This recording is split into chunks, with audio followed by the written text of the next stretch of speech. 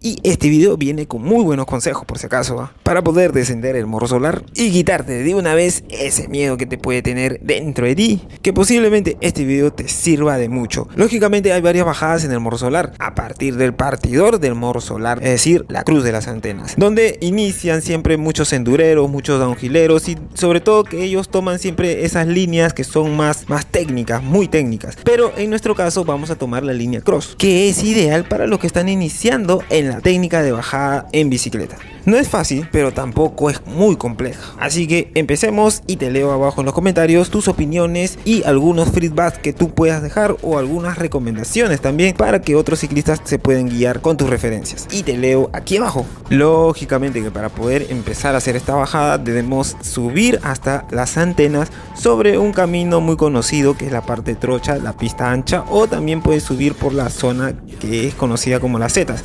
De cualquier forma, cualquiera de las dos rutas que puedas tomar o las líneas que puedes tomar, puedes llegar hasta arriba a las antenas. A partir de ahí tienes que llegar a la cruz de las antenas y ahí es el partidor del morro. Sin embargo, te estarás preguntando por dónde estoy subiendo. Esto es para otro capítulo porque hay una ruta muy nueva para llegar a las antenas. Atento a los videos. Por eso tienes que suscribirte a este super canal y no bacher. Sigue el hashtag claro pez.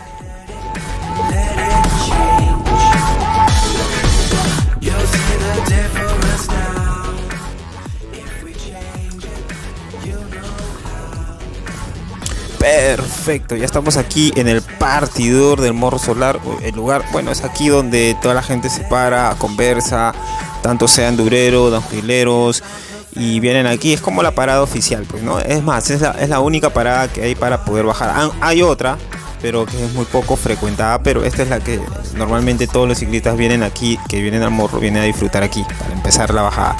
Y en mi caso, yo soy cross y empezamos la bajada. Y bueno, en esta rectita, en la primera recta, hay un saltito, si, quiere, si pueden la pueden tomar, si no, no. Pero este comienzo resulta ser muy accidentado, es decir, tiene bastante hueco, piedra y todo esto. Y eso es lo que a veces nos intimida un poco. Entonces hay que tener calma, nada más, calma y tener una velocidad controlable para que ustedes puedan, digamos, empezar. Todo se empieza desde así, de controlando la velocidad. Y bueno, ¿cómo es que, bueno, cómo yo controlo la velocidad? Bueno, apretando más al de atrás, eh, la llanta de atrás y con el de adelante solamente bajo velocidad. Y las curvas las tomo abriéndome un poco y tratando de cerrar y tomando el peralte, pues no, porque el peralte, los peraltes me ayudan a poder agarrar bien las curvas. ¿ok? Es como, por ejemplo, también, y me abro también, es como, es como que si yo fuera un camión, pues, ¿no? Cuando ustedes ven un camión, un tráiler, ¿qué hace? Es más, a veces toma los dos carriles para poder hacer una curva y poder cerrar bien y pueda pasar todo, ¿no? Toda todo, todo el vehículo. Lo mismo pasa así, más o menos, un poco como que pasa también con la bicicleta. Nos abrimos para poder agarrar mejor el peralte y poder cerrar bien la curva. No sé si me dejo entender. En términos de freno, volviendo a hablar de los frenos, yo aprieto más la mano derecha, que normalmente la mano derecha vendría a ser la llanta trasera, y la mano izquierda la aprieto solamente para poder bajar la velocidad. Claro que con la mano derecha también lo utilizo para poder, digamos, eh, bajar la velocidad, ¿sí? Utilizo para poder bajar la velocidad, pero no es que no es que es no, no es que reduce la velocidad así rápidamente o efectivamente eh, reduce la velocidad así como derrapando. Por eso es importante también la llanta delantera, aunque muchos piensan que con la llanta delantera me voy a ir para adelante y nada más falso, pues por eso para eso está también la suspensión que te ayuda también a mantenerte estable en la bicicleta. Y bueno, eh, justamente hablando sobre esta bajada y esta parte del inicio que había llegado en la, digamos como la zona centro de toda esta primera bajada del morro, pues no, antes de llegar a la pared. Así que retrocedamos un poquito, así rapidín, rapidín. Y como pueden ver ahí tiene la zona recta. si seguimos retrocediendo, agarramos esta zona técnica aquí. Aquí hay tres caminitos, ¿ok? En estos tres caminitos que ustedes están viendo, que ya, ya para, para, para, ya subamos en estos tres caminitos en cámara lenta como para que la gente lo vea. Esta es la parte centro de, toda esta primera bajada del morro, ¿ok? Antes de llegar a la, parte de la pared. He aquí, hay tres caminitos. Eh, la izquierda, la del medio y la derecha.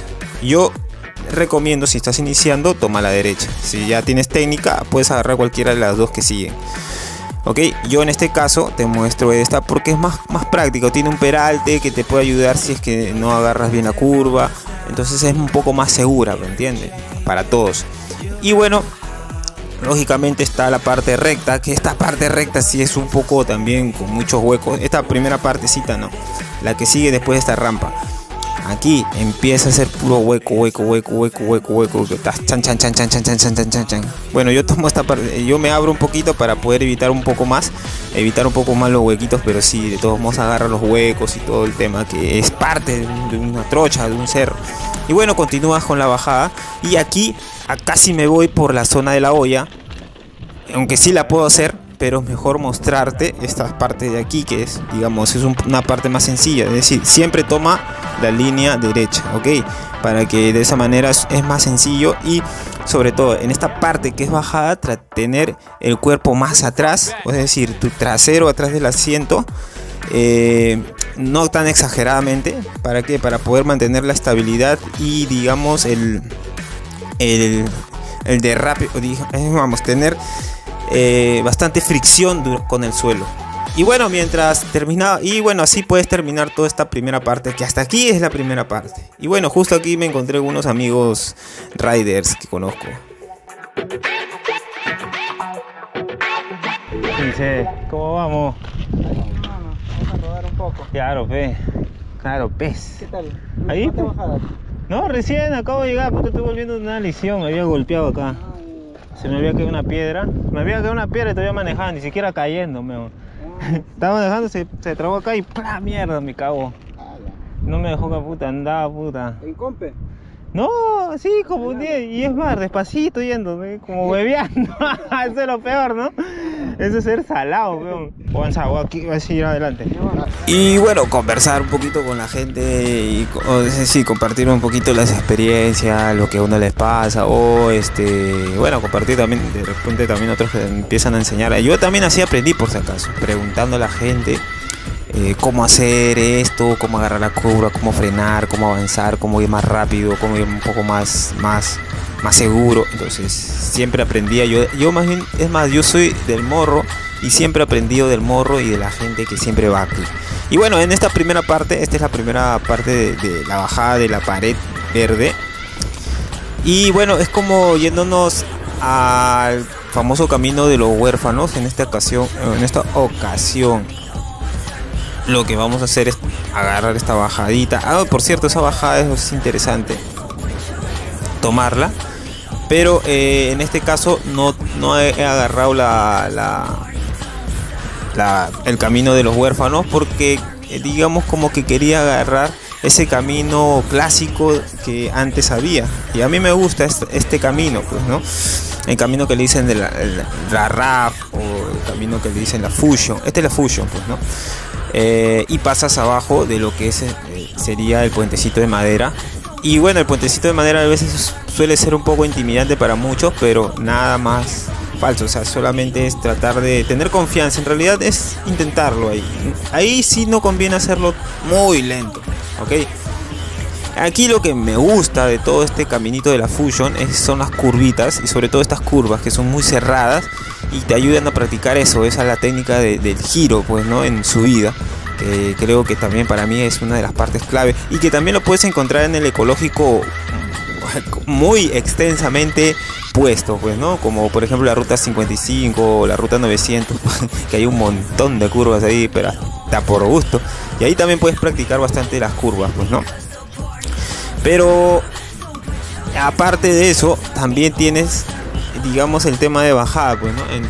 En, aquí, en esta parte, lo que me gusta aún más, aquí en el morro, es que tienes curvas en descenso. Y eso es lo que, digamos, como que, como que ayuda mucho también a desarrollar mucho la técnica. Por eso el morro es un lugar ideal para empezar a aprender y a desarrollar tu técnica de ciclismo de montaña es un lugar muy perfecto, muy muy muy perfecto. Eso sí te no no hay no hay negación porque la gente aprende mucho aquí y hay muchos partes y segmentitos y módulos, por así decirlo, que te ayudan a desarrollar esa técnica.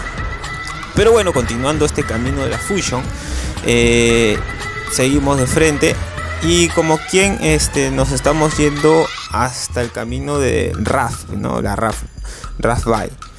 Entonces, este, bueno, es un camino también esta parte es como ya pasando todas estas, estas setitas que les he mostrado, ya torna a ser más tranquilo, pues, ¿no? La bajada es una bajada más tranquila para todos los que ya tienen, digamos, un poco de técnica, es, torna un poco más tranquilo. Aquí igual me abro, cierro, aquí también me abro y cierro, ¿ves? Si se dan cuenta aquí me abro y cierro. Esa es la idea siempre de agarrar las curvas en bajada.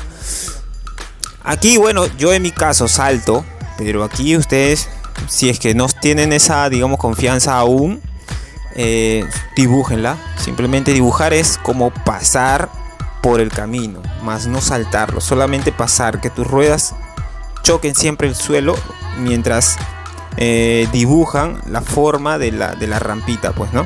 Aquí igual, esta zona es un poco más rápida. Esta es la zona ya de la Ras, eh, y en donde es un camino recto, bastante bonito, interesante, me gusta, a mí particularmente me gusta. Y sobre todo las curvas, estas curvas de bajada que son cerradas, eso por eso me encanta tener esta parte, porque tiene curvas cerradas en descenso. Y, bueno, eh, y aparte son un poco resbalosas, pero eh, ahí desarrollas también tu técnica, pues, ¿no? De, equilibrio, de estabilidad, que eso es lo más importante, una de las cosas importantes de, hacer este, los descensos, pues, ¿no? La estabilidad. Aquí, eh, bueno, también me confundí, iba a ir de frente hasta el chorri, chorri, a Chorrilay, pero voy a llegar al Chorrilay de todos modos, pero como para extender esta bajada siempre tomo esta parte, este segmento de aquí. Esta también, esta, esta zona de curvas en bajada son muy muy muy pedregosas y resbalosas y por lo tanto resulta ser resbaloso. Entonces es muy bueno practicarlo como para poder tener esa técnica pues no de estabilidad el técnico de equilibrio pues no y bueno aquí ya me voy por la zona donde está la piedra amarilla y me voy de frente como para poder ya extender pues no la bajada y, hacerla más interesante. Bueno en este caso no es que ya es bajadita no este es parte subidita pero acá digamos le metemos un poquito más pues no para poder digamos hacer más distancia pues, no para para para justificar pues, justificar la bajada. Bajada también se cansa uno, uno se cansa bajando aunque no lo crean también se cansa suda eh, se agita y es verdad se agita mucho y es, eh, eh, aunque no lo crean, aunque muchos digan no, pero si no pedaleo cuando bajo, pero sí uno se cansa. En realidad sí se cansa.